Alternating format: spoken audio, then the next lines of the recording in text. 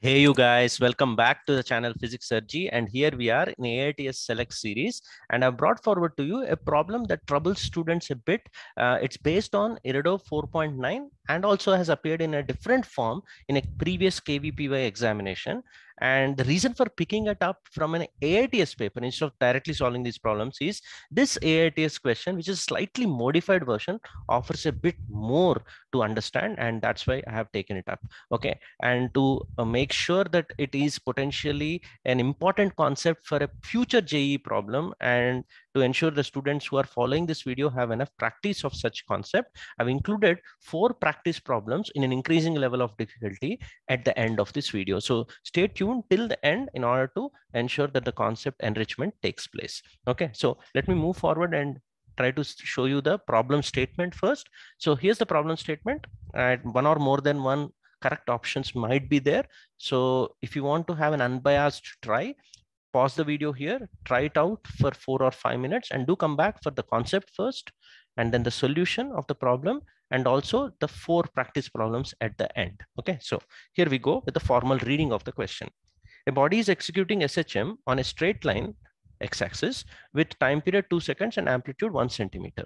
Assume that the probability of the body to be between x equal to minus a is 1, right? So amplitude to x equal to plus a is 1. That's obvious. That is where you can certainly find the particle in between that big region.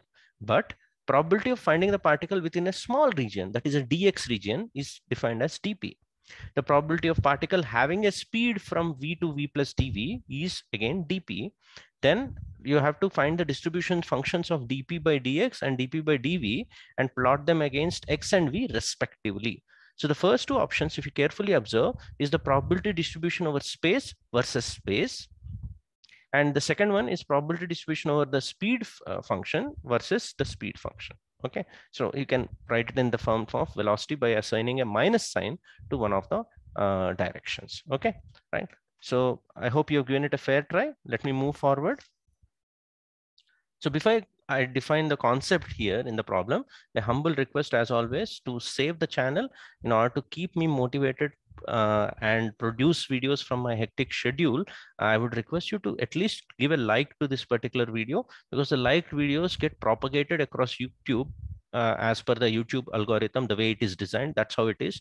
Uh, so I hope you understand my genuine request and keep giving me the support that you have been given, especially the old subscribers who have been following this channel. And in case you are new, uh, please understand the enormity of the situation. So if the channel doesn't get propagated or get liked, uh, then I had to actually uh, stop producing the videos on this and maybe find some other platform in which I can uh, share knowledge. Okay, so once that request is done, let me move forward.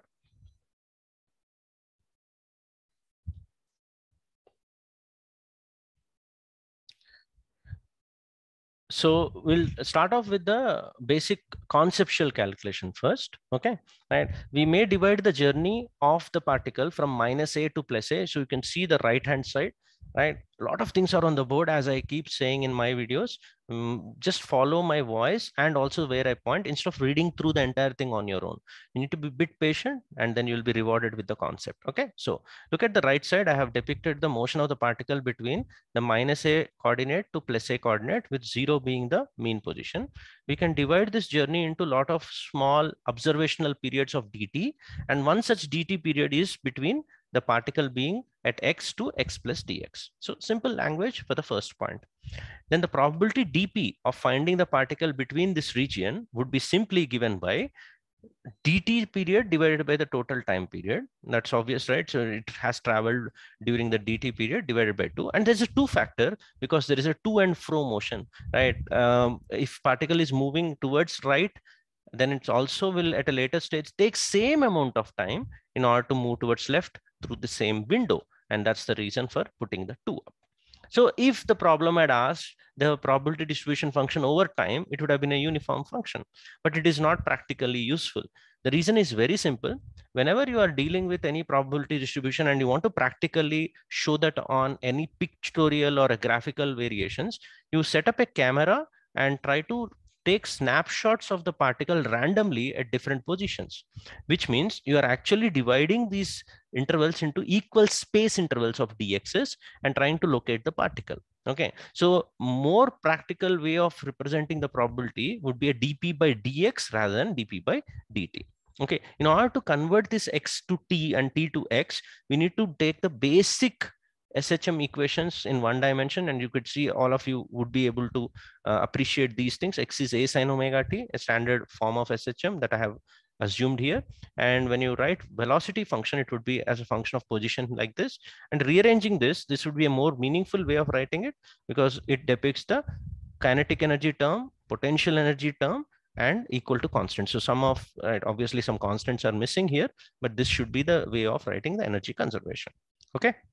Now, giving you the idea that uh, the uh, particle is going to have different probabilities at different positions, we should realize that, uh, let me show you a simple animation of the SHM. So if you have uh, looked at an SHM, in this case, x-axis is taken in vertical form so that I can write x versus t graph. So whenever the particle moves through the mean position, it goes faster. So for any camera which is positioned in the mean mean position, or that means the middle points, right? It will be uh, finding the particle to be a less probable to be present because it's moving faster. Whenever you go to the extreme position, particle stays in a certain dx window for a longer duration. So the camera will be able to locate that particle in the extreme positions more often as compared to the mean positions. I'll show you a, a stroboscopic photograph also in which you uh, take a particle motion and you switch on and off the lights at equal intervals of time.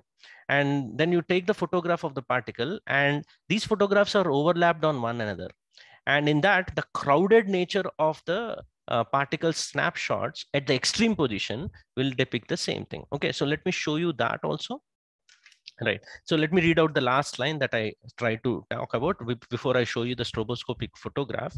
If we divide the region between x equal to minus a to x equal to plus a into equal dx's and try to capture stroboscopic images, that means you switch on and off the light and take the snapshots of the particle in equal intervals, we expect the dp presence, that is the presence of particle or probability of locating particle to be higher in those dx windows where the particle goes slower so that you can capture them. Okay.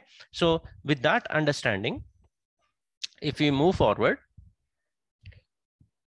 yeah, this right hand side, I've taken a stroboscopic photograph of a pendulum. Obviously, pendulum is not a linear SHM, but for small amplitudes, you can consider this to be a straight line on the right side.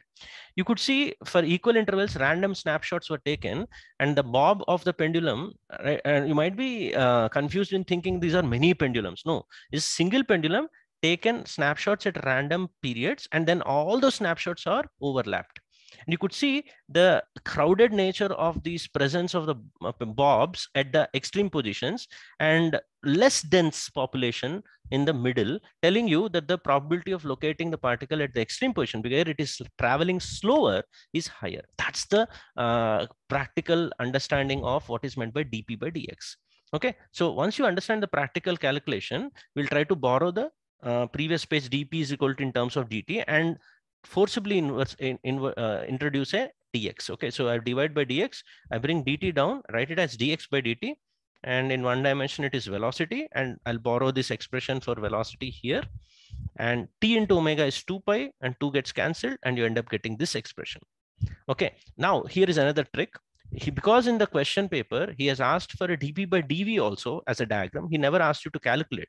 Let's suppose he asks only the shape of the graph. Then you can use this mathematical idea. Because the v square and uh, x square summation by a constant is equal to a constant summation of v square and x square the mathematics recognizes v to be an equivalent variable as compared to x. Yeah, physics of v and x are different, but because of this equation in SHM, the v and x maths will recognize them as to be equivalent. Therefore, with some constant removal and from here to here, that's why I wrote the proportionality, you can bravely suggest that dp by dv should also have a similar format. That means the graph of dp by dx and graph of dp by dy versus their respective x and v, right, will be the same answer. You could go ahead and trick I'll give the actual calculation in the next slide, but I think you appreciate the way that happens. In any other motion, you may not have the same logic because the x and v will not have the same uh, degree of the polynomial. Okay, so we will see those in practice problems where I might change the uh, way the particle is traveling and you end up getting different probability distributions for position and velocity. Okay, so here's the calculation for dp by dv. It's straightforward now. I think you got the idea. When you divide by dv, you get this time dv by dt, which is acceleration magnitude. And you get omega square x, and you can convert omega square x into v square. As I told you, with different constants of proportionality, you'll get the similar function. So options B and option C from the given question are correct. And you could see the shape of that particular probability distribution functions are similar. Okay, now let's see what KVPY has done in the past. How can this question be asked? Okay, so this was uh, how the KVPY actually rephrased the question and used that stroboscopic snapshot or random snapshots, right? So you could see that the person is taking random snapshots between minus a to plus a and a histogram or a bar graph is drawn for the uh, number of events that have been captured most possible event would be that means he's asking about the probability distribution indirectly here. He's not using that word but uh, in a clever manner in a practical manner he's enticing students to answer this question. And obviously you should have gone for the option c based on what we did in our calculation. Okay? We can expect similar kind of uh, uh you could say modifications by JEE also in the future. And that's where the practice problems become very, very important. Okay, so let me move forward before I give you the practice problems, uh, these are other photographs, right? So this was the rightmost one is the stroboscopic image of any pendulum. The same thing if you uh, take the time exposure snapshots, okay, so many such photographs are taken from one particle. You could see the density of the presence of that particle at the extreme positions is larger. And somewhere in the middle, you could see that it's uh, thinner in population. So same logic, different way of expressing it. You can express it in the graph paper also, where we have taken these uh, dots as the points of observation. And you could see those points are much, much closer when at extreme positions here and here, and are much farther in terms of the dx when uh, you take it through mean position. That's what is written here. I think you can read it out and understand and appreciate what we are doing mathematically. It's not just the maths, you need to understand the physics part of it also. So, okay, so before we move on to the practice uh, problem, again, one important bonus point, um, not important for JEE Advanced, but maybe for your Olympiads, not even for INPHO, it's much higher level, wherein you should realize that classical probability that we were doing, right, when the one that we did was the classical mechanics, where you were able to distinguish and uh, talk about a specific velocity and specific position for a particle, which is not allowed in a quantum mechanics oscillator. That means a particle which is obeying quantum mechanics, you cannot depict the velocity and position simultaneously. So when you go to higher level physics, the same probability distribution for a particle in SHM using quantum mechanics would be slightly different. And that is given by this wave function, which also takes similar shape in terms of its envelope, but it's much, much tougher to solve okay so this is shown just to create some kind of interest in higher level physics as we move along and you take up these higher level subjects these kind of things will be encountered by you but not for your INPHO or even JEE advanced okay before we move on to the practice problem, these are the ways to connect with me. The top three ones are for the academic purposes, Discord server, Telegram doubts group, and the website where all these videos are put up in a uh, topic wise manner. And the bottom three are just the social media presence for the students not students the others who want to communicate with me. All these uh, links are in the about me section of this channel. Uh, please try to go there and explore as per your need. And regarding the website trying to elaborate. Um, in order to use the website uh, for the beginners, I have made a video on how to use it. The link of that uh, particular video is in the description below or on the i button above. Try to go through it. And if you're new, all the arrangement of these chapter wise videos will help you revise things faster. There are 260 plus videos on this channel. Watching them as quickly as possible will give you edge over others in the JEE Advanced exam as was proven in the last two years. Okay, and here comes the practice problems. I'll pick up the first two from the short answer questions of H.C. Verma. You can read the sixth on your own. The seventh one is the one which is pertaining to the concept we did. In our uh, time period measurement of pendulum experiment, uh, we have to count the number of oscillations as a part of our procedure. So in order to count the number of oscillations, there are two ways of doing it. You can count them from mean position or you can count them from extreme. And you are generally asked to count it from uh, extreme position, right? Uh, so is it extreme or mean that you're supposed to do is what you are uh, supposed to answer in this question. So whether this question is correct or not, and if it is correct or if it is wrong, what was the reason? So please make sure you comment your response in the comment section below along with the timestamp. Timestamp is very important as the video grows older, it would be difficult for me to navigate. Okay, so I'll come up with the response in Physics Sir JEE quickies. The second, uh, the third question is extension of the question in the video, right? You could see I copy pasted the entire part here and in the bold one, we are extending that. I'll define a P of X as the probability of finding the particle to the left of X. That means uh, dP is for dx finding. P of X is a cumulative probability to the left of X. If I define it like that, you are supposed to find these three values. P of minus one is the probability of finding the particle to the left of minus one. Similarly, one and the mean position. Using these three, you should be able to actually write the value of the P of X. So let's see how many of you do it. In case you struggle in commenting with the timestamp below, I'll come up with the solution of it in the Physics Sir JEE quickies. The last one is the most exciting one. So this I'll solve in the Physics Sir JEE originals. Uh, you can see a stroboscopic picture of a ball under elastic collision. So it's a projectile motion of a ball. It hits the floor, E is equal to one and goes to the same height again and so on and so forth.